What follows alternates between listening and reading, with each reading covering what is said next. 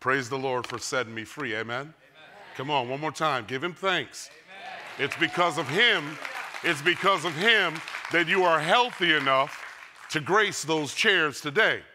Amen. He gave you breath this morning. Clearly, you guys are eating, some of you better than me. But he made it so that you could get here safely today. As Pastor David said, I am Pastor Dan Hudson, lead pastor at Bethel Northside where Pastor Steve is down preaching at. I used to go to church here four years ago, and Pastor Steve, you guys know Pastor John Gentile? Pastor Steve kicked me and John Gentile out. He kicked us out. He sent Pastor John to Saratoga, gave him a church, kicked me out, sent me to inner city Schenectady, gave me a church. And then when I come home, daddy is gone. Crazy, right?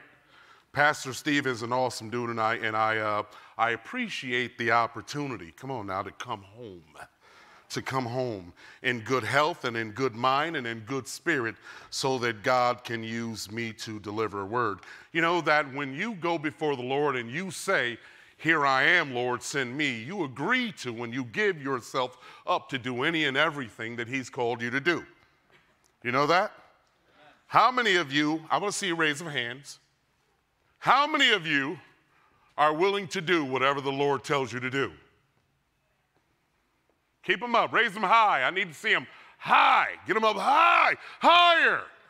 Dude right here is like, nope, he know a setup is coming. At Northside, we have 39,840 square feet. I got a whole lot of bathrooms I need cleaning. Y'all said, Here I am, Lord, send me. Come to Northside and clean a bathroom. Amen? how, do you, how many know that the Lord will set you up?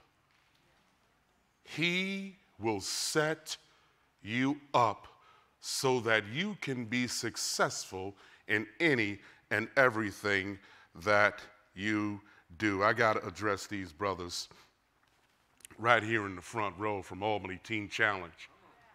All right? I am, I am 56 years old.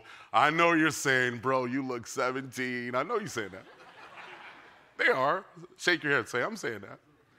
I started drinking and drugging when I was 18 years old. I stayed in the wilderness till I was 36. May 26th, this just past few months, I celebrated 19 years clean and sober. If you say, if you say, Here I am, Lord, send me, be ready for a roller coaster, but you will love the end result. There is hope. I'm here to encourage you. Find some people and gather some people around you that love Jesus, that love Jesus, and listen. Amen? For the past six weeks, we have been in, in the series um, Heroes and Sidekicks. Who's the ultimate hero? Louder! Louder! Who are the sidekicks? you, y'all so humble. We, uh, we are? Maybe? Yeah. Jesus is the hero, and we are the sidekicks. We have talked about Ananias in week one, Naaman's wife's maid in week two. We talked about King Josiah, and we talked about Caleb. Now, I like to stop on Caleb, and I like to stop on Micaiah. Here's why. Now, remember Caleb and jo- Joshua and, and the other 10 spies, so there were 12 spies, all in all. They went to spy and then they came back, and Caleb and Joshua gave a good report. They said, Listen, we can take that land. And the other 10 were like, Nah, man, we can't do it. So when Caleb and Joshua put their feet down, it says, Yes, we can, yes, we can. Those other men and the other, other Israelites, they stoned them, right? So, what I'm saying here is that when you speak goodness, when you say that you can do to other people what the Lord has shown you you can do, there's going to be some people that stone you. There's going to be some people that don't like you. Watch this. This goes for you guys and all of you. Caleb spent 40 years in the wilderness, right? Caleb, Joshua, and the other Israelites. 40 years going around this big circle. You know why? They spent, I spent 18 years in the wilderness drinking and drugging because of the people that I was associated and connected to. Joshua spent 40 years in the wilderness because of the people he was connected to. You got to surround yourself with people that are doing better things, with people who are focused, with people who love Jesus, with people that will encourage you and hold you accountable to do the right thing. Amen? All right, I got to get back to my sermon part. Micaiah, Micaiah, Micaiah, the big mouth, right? He didn't have a big mouth, he stayed stern.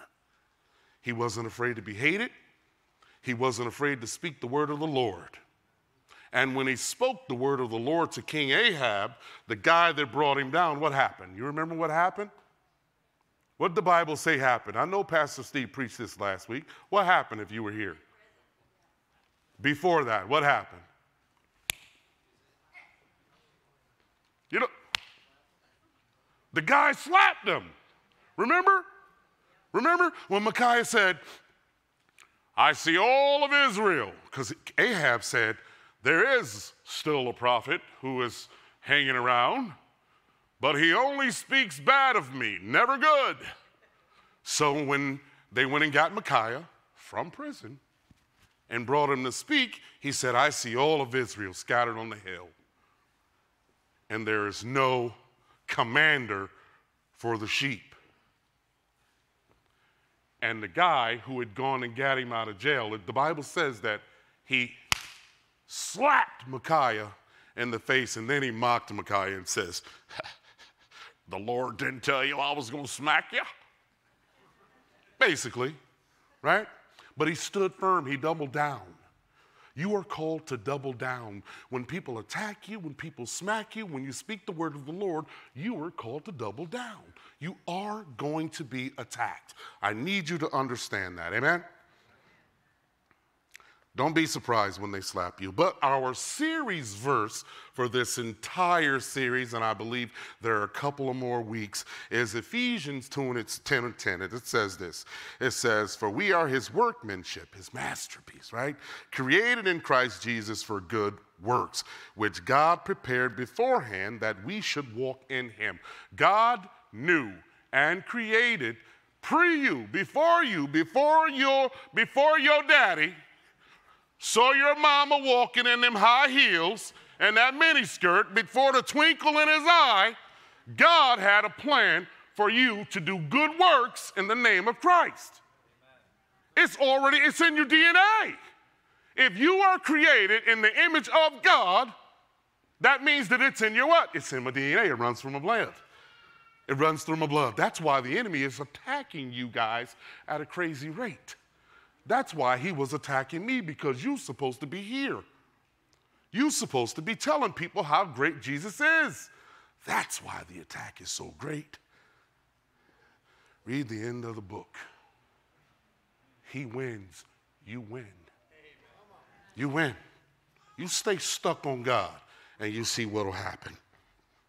I got to keep going, right? Now, this scripture, I believe, the, the Ephesians 2 and 10, this scripture, I believe, believe, is the best speaking directly to our purpose in life. You were created to do good things in the name of Jesus Christ. We've been talking about the lesser known heroes or the lesser known sidekicks of the Bible, and today we're going to talk about this lady. And I want to see a show of hands um, because don't tell them, please don't tell them. But when I asked this question, nobody in first service raised their hand.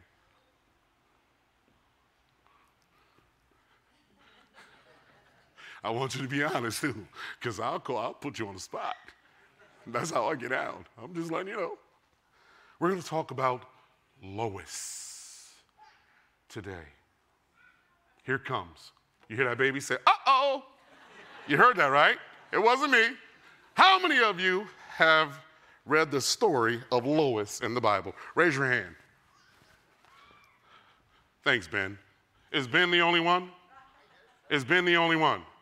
There's probably 200 people, 250 people in here. So 249 people have not read the story of Lois. Only one has. I don't believe you. I'm not tricking you. How many of you have read the story of Lois? Raise your hand. There you go. Two more. Anyway, now Lois in the background, the gospel of Christ was spreading all over the known world. Things were written down for posterity and historical reference. The greatest minds that had ever walked the earth were at this time when all of these writings were put together. This was not some island in the middle of the ocean or Iceland, for goodness sake. This was Asia Minor. This was Jerusalem. This was Israel. This was the center of it all. All these great minds, they gather and they all write down some stuff. They all have some kind of historical value. They all say this and they all say that. The point is, largely, most of the church, in my opinion, know zero about recorded history. Jesus' life and death and resurrection, it all happened in an area of great nobility and recordings. Yet, we don't know much about it.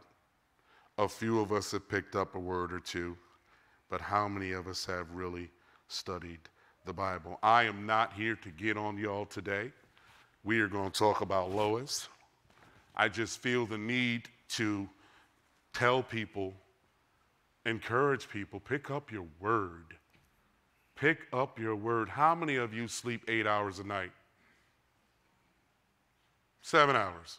Six. How many of you get a good night's sleep?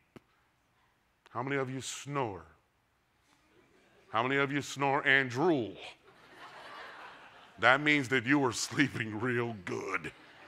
You can take 10 or 15 minutes in the morning, in the afternoon, in the evening, or at night and read a chapter. Amen? Amen?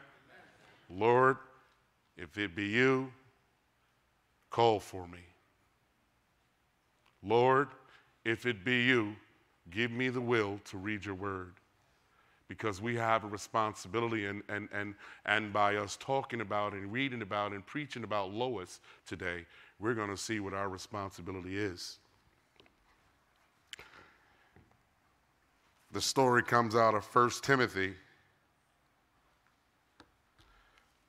1, verses 1 and 2, and it says, Paul, an apostle of Christ Jesus by command of God our Savior, and of Christ Jesus our hope.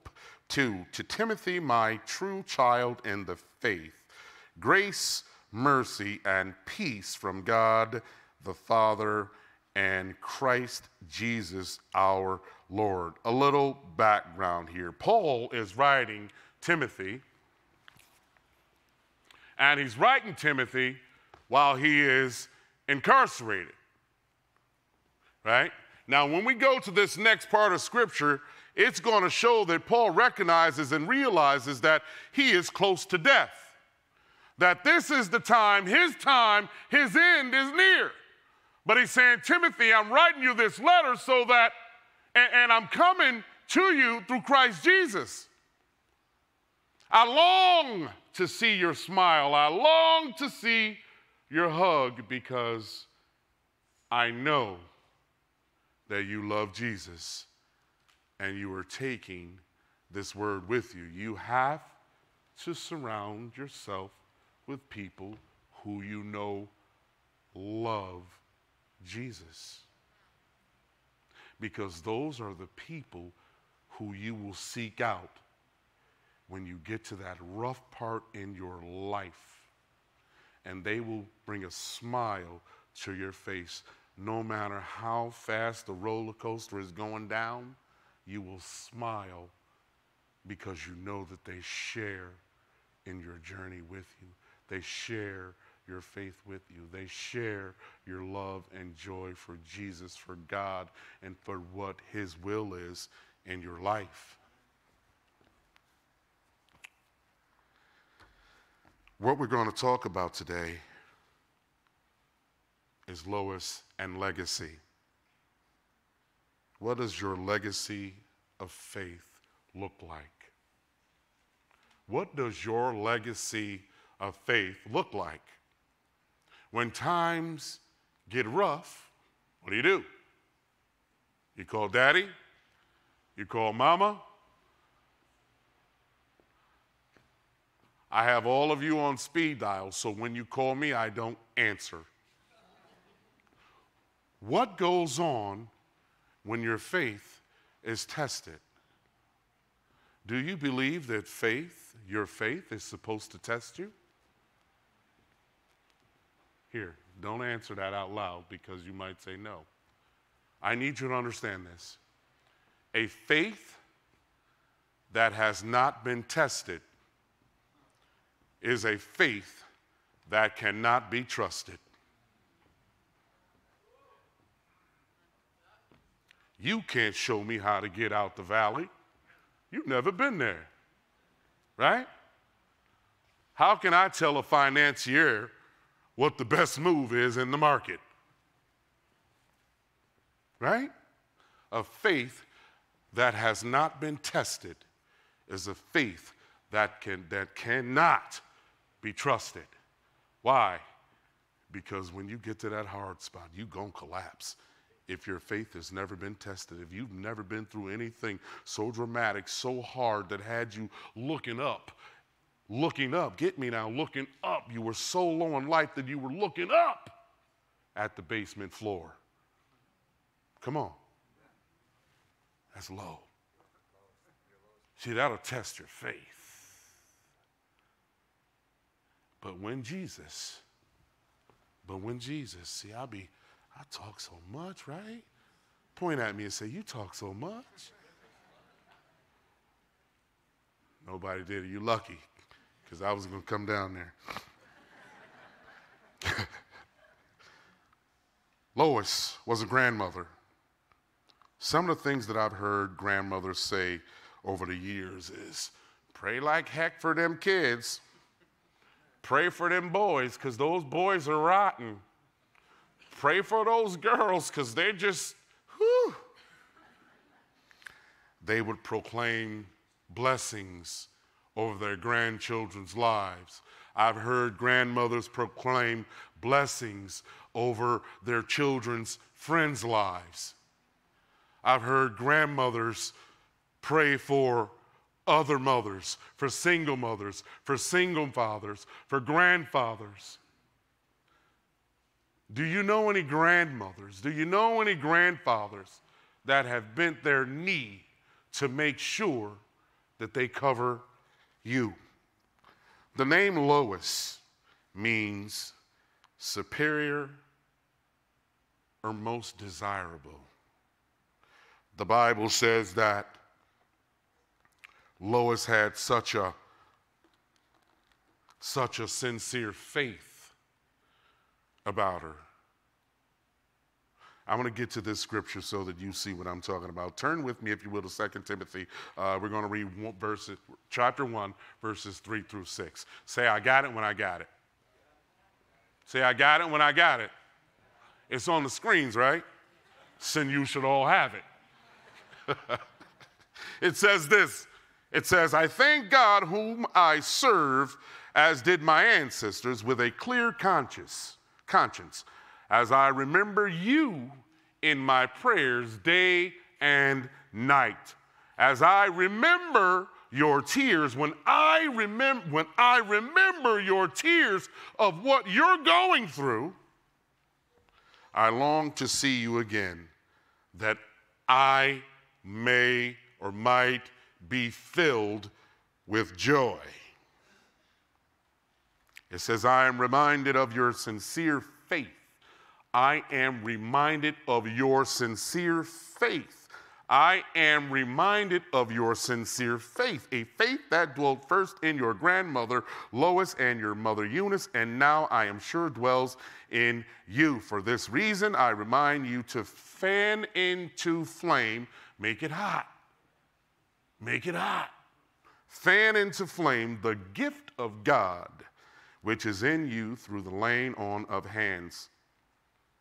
Here it is, Paul, destined to physical death, is writing Timothy, telling him to fan into flame the gift of God that he gave him or left him with the laying in on of hands. Now, let me give you the definition, if I can, of sincere. There's a multitude of definitions of sincere. One of them being is without hypocrisy. Her faith was without hypocrisy. She didn't say one thing and did another. She didn't say, Hallelujah, Lord, thank you, and then go shoot the neighbor. Guiltless, without guile, true, genuine, free from dissimulation, free of adulteration. Those are some of the definitions for sincere. Now, Paul says, Timothy, you got this sincere faith in you. You got this, this faith in you that is without hypocrisy. You got it from your grandmother and your mama. Picture this. I don't know what year it is, I wasn't there. Lois,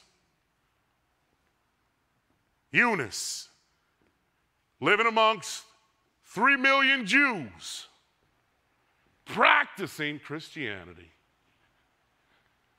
in a time when women were nothing. Paul says, Timothy, you have the sincere faith in you that your grandmother had that she passed on to you. Understand this everything that you do will be handed down from generation to generation, whether it be good, whether it be bad, whether it be finances, whether it be a home, your attitudes, your behaviors, everything that you do is going to be handed down to somebody. Somebody is always looking. Those in your household, hmm, addiction, handed down. Hand it down. I was going to buy my mother ounces of weed, not buy. She'd pay for it. I have to go pick it up when I was 10 and 11 years old. Go down to Oscar House. He got a package for me. Hand it down. It's not my mother's, not my mother's fault. Not my mother's fault. I chose to stay in the wilderness after that. I chose to get hooked and stay out there for 18 years, right? But I was exposed to it when I tell you that those things that you do will be handed down to the. There's a scripture, and I'm going to get there. It says, your children's children's children. Your children's children's children. It ain't about you. What legacy? See, we're talking about Lois's legacy. It said that she had a sincere faith. Sincere faith. Do you know how strong she had to be? Living amongst three million Jews. Do you know how she had to put her feet down? Do you notice that she probably, for a little while, had to keep, had to keep it secret for fear of death? We're in 2023. We can yell Jesus all we want. Ain't nobody shooting us. We in the U.S. Praise God. I'm grateful to be in the U.S. Right? Come on now. Huh?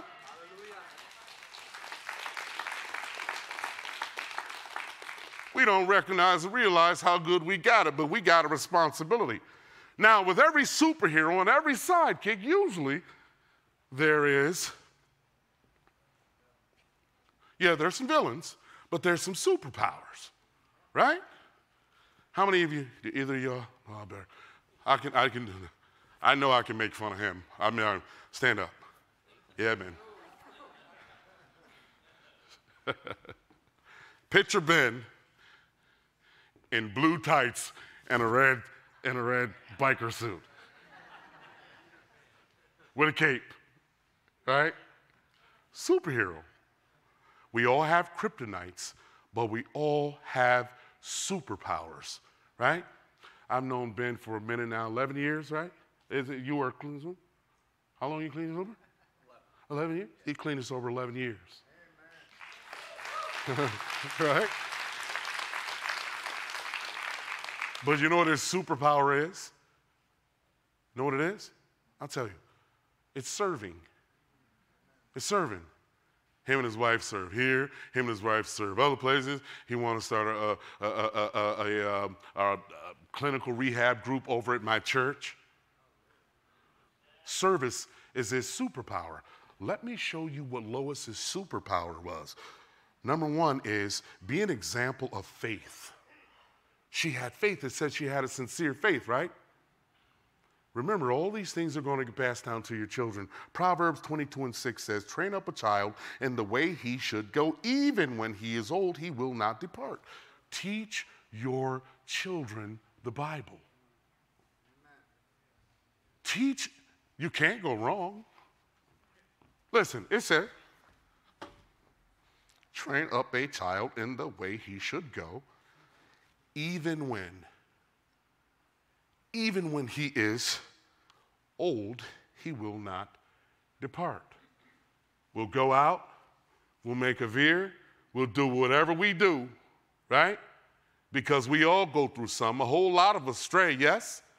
How many of you, you know, all y'all came from heaven, right? You all, you, you all know that you're, you're the image of God, you were sent here by God, blah, blah, blah, blah. How many of you got here and it strayed some part of your life?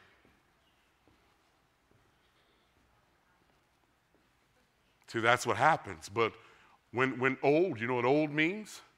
Mature. Train up a child when he is old, and when he, well, when he is young, and when he matures. When he matures, when he gets so old, nah, not necessarily, but when he is mentally capable of recognizing, realizes, and recognizing, realizing where he has fallen short, he'll get on track and he won't depart you have an opportunity to get on track and not depart. But you have to surround yourself with people and be strong so that God can impart in you and in the people around you what He wants you to do. It's all by choice. Teach the Word of God to your children and your grandchildren. Teach them that a faith that has not been tested cannot be trusted. Teach them that that Jesus said he will never leave us nor forsake us. Show them how to push through and push on. You have to show them how to, don't get me wrong, I ain't Jesus. Show them how to turn the other cheek. I don't mean physically getting punched in the face and being like, go ahead, bro, hit me again. No, that's not what I mean. What I mean is Lois. Lois her and Eunice, around three million Jewish people, who was dead center in the middle of Judaism, not practicing the Jewish traditions. Timothy didn't get circumcised the eighth day. You had all these people coming against him, yet she had and was an example of faith. Lord, you will protect me if I stay in your word. If you, I do what you told me to do, dear Lord, you got me. She was an example of faith. You and I, how many people in the world? 8 billion? 10 billion? Anybody, anybody, anybody? Remember that? Bueller, Bueller. You younger folks won't get that, but anyway. As grandparents and parents, we often ponder the impact that our lives will have on our children and grandchildren. And we hope that our lives will have a transformative influence, not just with our children and grandchildren, but to those people that they go out and influence in the future. What you do, how you live, when you bend your knee, what you say, somebody, especially those in your household, are always watching. Have you considered the vast world that Lois this single mother, this single grandmother, and Eunice, have you considered the vast world, the community, the territory that they were surrounded by? Now, there's not much known about Lois other than she had this sincere faith that she passed down because her name is only mentioned in there once. But for Paul to write about it, to say, wow, lady, you were, yeah, wow, lady. He probably said it just like that. Wow, lady for, for you to be surrounded by all those people and put your feet down and stick to the guns and influence in, in your household, in your household, right? And influence your daughter, who ultimately influenced my grandson, who ultimately influenced the world. Why? Because he was Paul's number two. Do you understand? What you do, what you instill in your children and your grandchildren and your neighbors and your neighbors' kids has the potential to affect the generations to come. We're talking about 3,000 years ago, right? Now we're talking about uh, 2,000 years, 23 with a quarter of the time, right? So we're talking about at least that long. And here it is. How many generations is that? that we're still talking about Lois and Timothy? Generations upon generations upon generations. That's the influence that you were called to. It's heavy, right? It's like, whoa, Lord, that's way too much. Yes, it is way too much for you, but it's absolutely nothing for Him. Remember when the 12 disciples were crossing the boat, crossing the river, and it got all crazy when, when, when, when Peter saw Jesus walking on the water and the other disciples were petrified in the boat? Remember that? What did Peter say? He says, Lord, if it be you, bid me come. King James Version. Lord, if it be you, bid me come. If it's you, Lord, tell me to come. If Peter didn't get outside of the boat, see, people say, oh, he walked on water for a tenth of a second, looked down, got scared. The fact of the matter is, he was the only one that was brave enough to get out the boat. Are you brave enough to teach in your household? Are you brave enough to teach your grandchildren? Are you brave enough so that your great grandchildren will get it? because they will affect or influence the future for generations to come, whether it be negative, whether it be positive, whether it's good, whether it be bad. They are going to influence the generations to come. You have a huge part in doing that. Her second superpower was being an example of love. Just imagine how much Lois had to love, being surrounded by, say, three million Jewish folks that didn't, that, that didn't practice what she was practicing, that didn't practice Christianity. How many of you are Christian? Don't, don't raise your hand, but think about this. How many of us Christians have been around Christians who just wear us down? My man raised his hand. He like, I ain't embarrassed. Me. right? Imagine what she had to deal with. And she did not, the Bible says, because of what it said, her sincere faith without hypocrisy, right?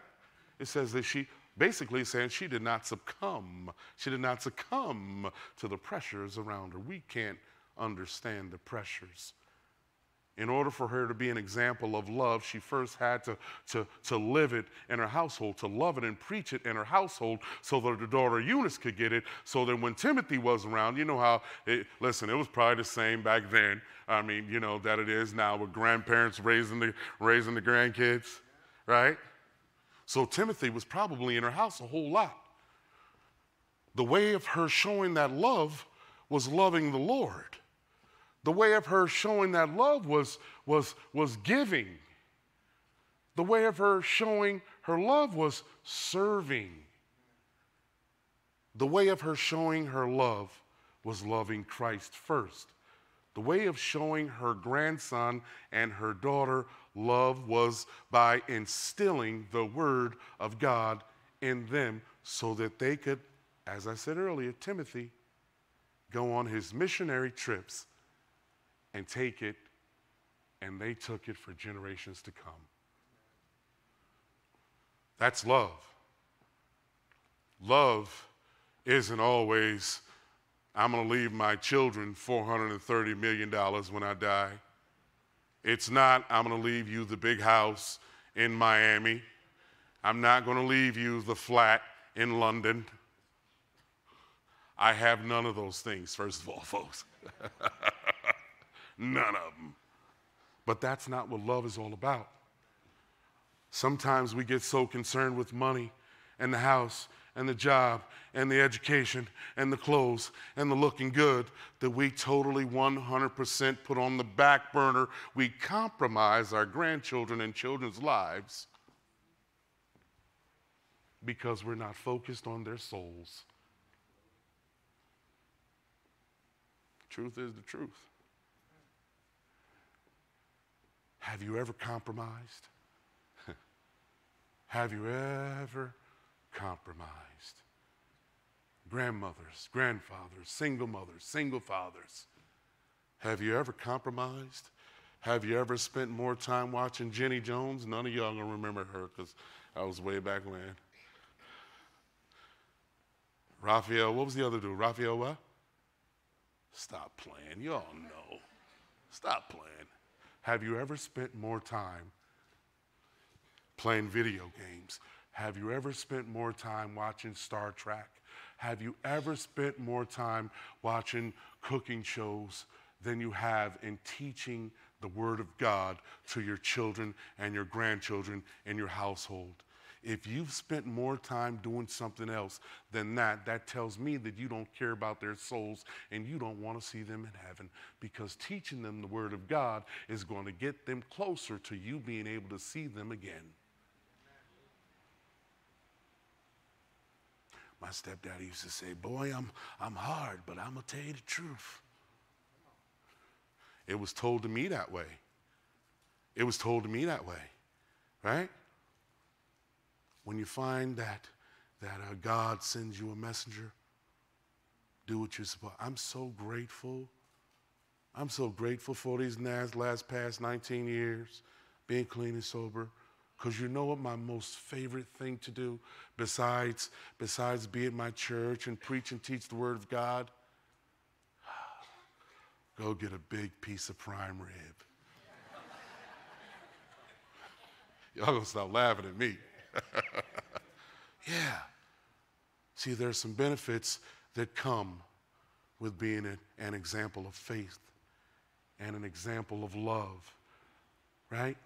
See, there are some benefits. I am a walking benefactor of Timothy, his missionary work, because it got all the way over here, and somebody told me about it 19 years ago.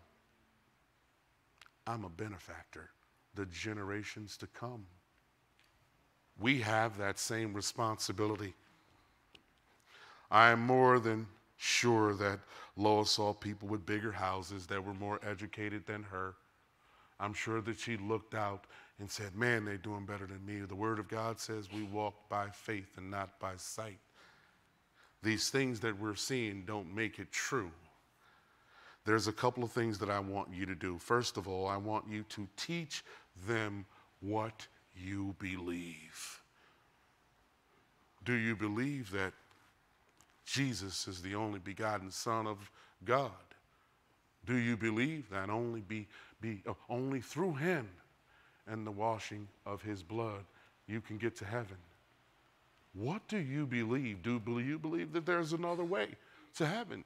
Do you believe that there's another way to be saved? What do you believe? Because whether you, whatever you believe and whether you teach it to them or not, if they're in your household, even if they see you anywhere, they're going to pick up on what you've given out. So whether you're trying to teach somebody or not, you're teaching them. Mark 8 and 36 says, For what does it profit a man to gain the whole world and to forfeit his soul? What does it profit your children? What does it profit your grandchildren? What does it profit you to have $400 million in the bank and your soul is going to rot in hell and because you left it to your kids and they you did you never taught them the word of God, their kids going to rot in hell too. What sense does it make?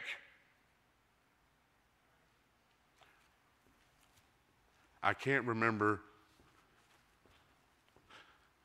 Tim Tebow had a quote, and it was something to the effect that having everything means nothing if your soul's going to hell. Right? Remember, Dave? Having everything, it means nothing if you're going to hell. It means nothing if your kids and your grandkids are going to hell. It means absolutely nothing. It means that I'm fair. I'm fair. It means that you are too selfish to pray and instill in your children and your grandchildren what you believe. It says that they're on their own.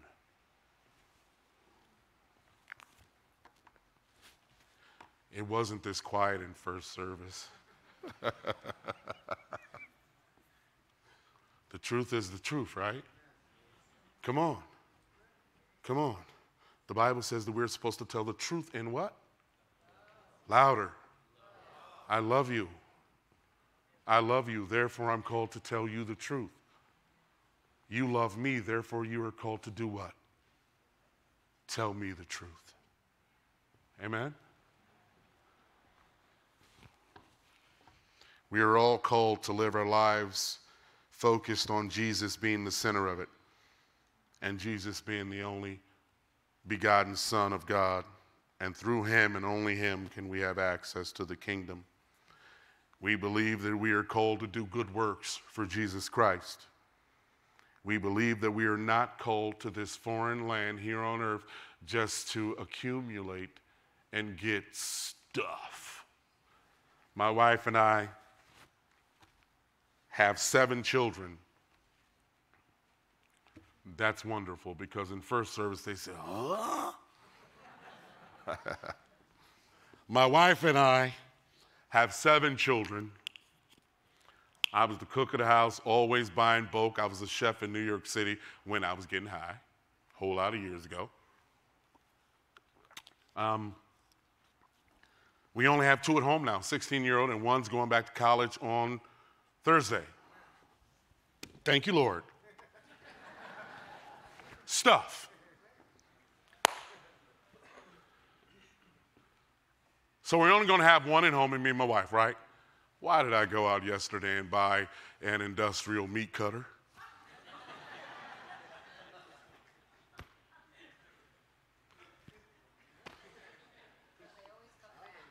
stuff. We want all this stuff. I was saying to my wife, baby, we got all the all the toys. We got, we got the Keurig and the and the this and the that, electric flying knife stuff. We weren't put on this foreign land to just accumulate stuff. Yes, stuff is okay. We can have some stuff. But the stuff that I want to pass down to my children and my grandchildren is the Word of God. That's, yeah, they're going to get the flying knife and all that. But what else? What else are you going to pass down? I live in a town where um, I am, I literally can see generation after generation. I can see the grandmother, the mother, and now the daughter.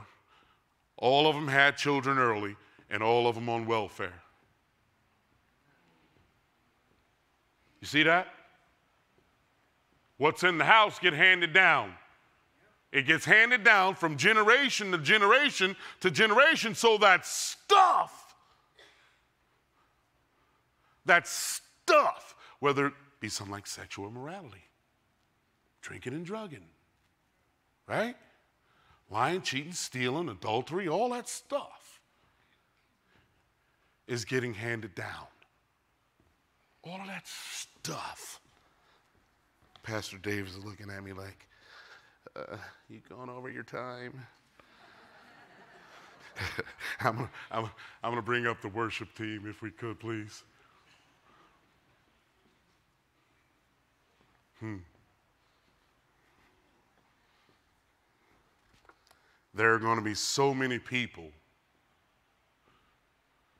so many people as, as you step up and as you choose to, as you choose to step into your purpose. As you choose to step in, as you choose to say, Here I am, Lord, send me. As you choose to say, Lord, if it be you, bid me come. You are going to be a Micaiah. You are going to be a Caleb. You're going to get slapped in the face. They're going to throw stones at you. But Lois, surrounded by all those people, stood firm. Lois, surrounded by all those people practicing something or not believing, all of those people waiting on a Messiah. She said, He already here. Lois, a grandmother. Eunice, a mother. Daddy, not in sight.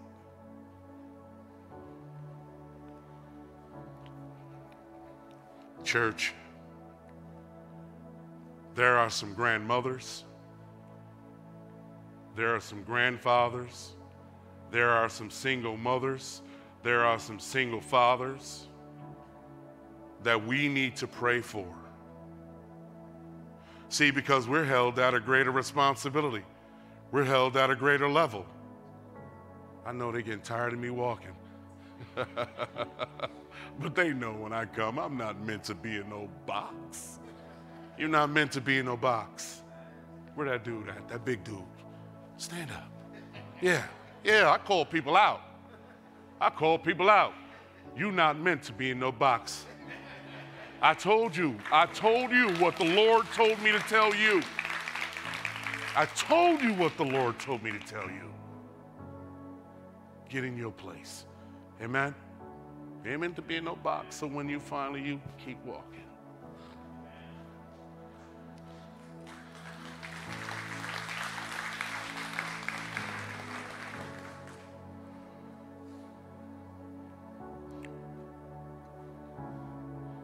Put up the slide after teach them what you believe, the Deuteronomy 4 and 9.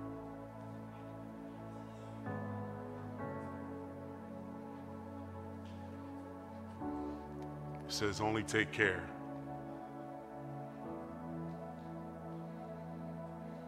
I'm going to read it to you. Oh, you can read it yourself. It says something different back here. Only take care and keep your soul diligently lest you forget the things that your, your eyes have seen, and lest they depart from your heart all the days of life. This is the part right here, right? Make them known.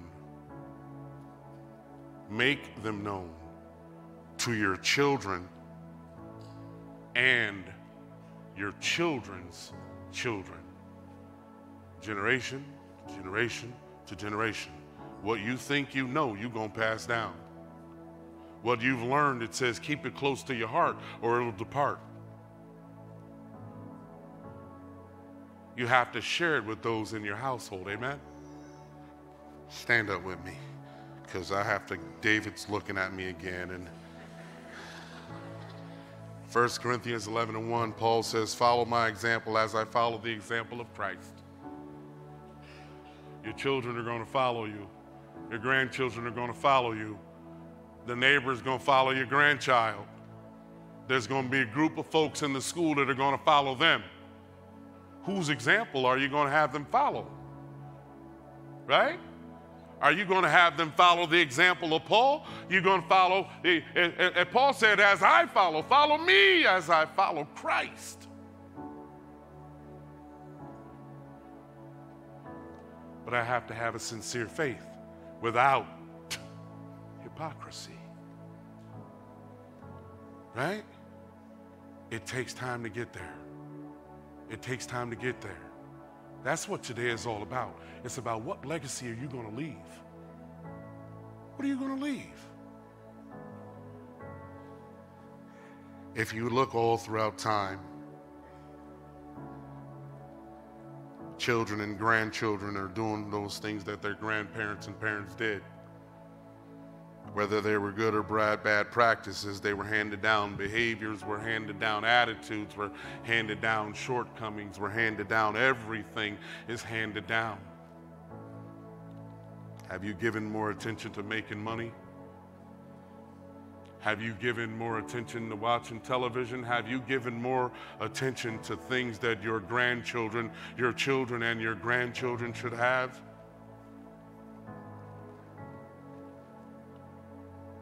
If you have, then that means that you've compromised.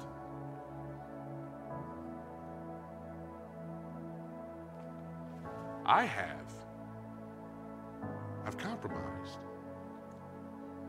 I believe the Lord wants, and, and, and, and I don't care if you think you compromised or not. The only perfect one is Christ, right? Amen? I want every, every, every grandmother, every